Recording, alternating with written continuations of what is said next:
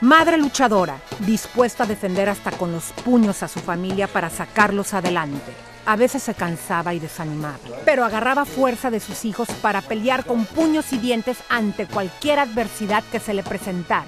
Gracias a su trabajo y lucha incansable, pudo darse y darle a su familia lo básico y un poco más. Acompañemos a la diva a la intimidad de su closet, donde ella misma nos mostró sus tesoros acumulados con gran esfuerzo. El día de hoy vamos a sacar a la diva del closet. Pues ahora puedo decir que tengo un poquito más de lo que tenía antes, de cuando estaba chiquita. Estamos en este momento en este súper espectacular closet que quiero que sepan que abarca casi todo lo que es el máster de la habitación principal de la diva. En esa parte pueden encontrar algún que otro vestido elegante. Por ejemplo, este es un, un cavalli, este me lo pondría para una cena, pero acá tiene los vestidos de, de trabajo, los vestidos rancheros. Rosas con blanco, ah, tengo por acá un color más ah, azul con, con, también con fuchsia. Este lo utilicé el año pasado en el Nokia. Muchas veces me los pongo dos, tres veces y luego los, los rifo o los regalo. La primer bolsa cara que te pudiste comprar ¿Y hace cuánto fue? ¿Y la tienes? La sí, aquí la tengo. La primera fue esta chiquitita, Louis Vuitton, que es mi marca favorita. Me encanta a mí Louis Vuitton. Y no me acuerdo cuánto costó, pero sé que en ese tiempo era la más barata que estaba en la tienda. Y me fui con mi, mis centavitos de una cantada que había, que había juntado de algunas cantadas y, y me compré esa bolsita chiquita. Entonces, muy importante los zapatos.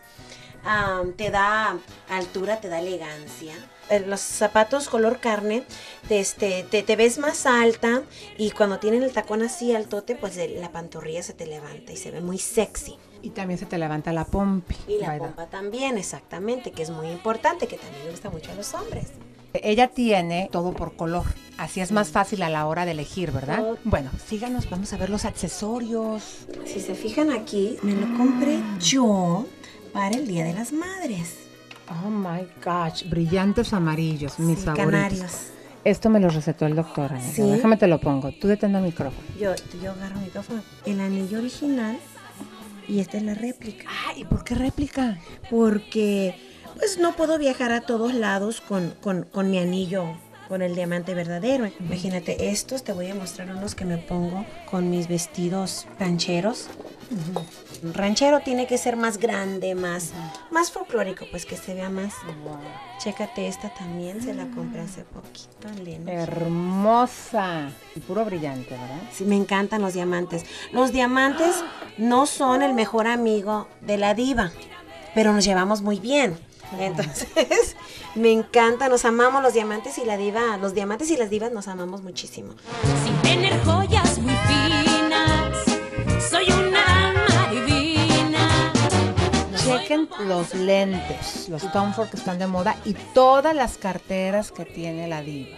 Yo no tiene que ser de marca, yo me agarro una de la Target si es, si es posible y me gusta, yo me la compro tus prendas íntimas bonitas por si llega a suceder algo por ahí, este tener algo algo bonito por dentro y yo creo que eso es lo muy lo más básico que debe tener una mujer.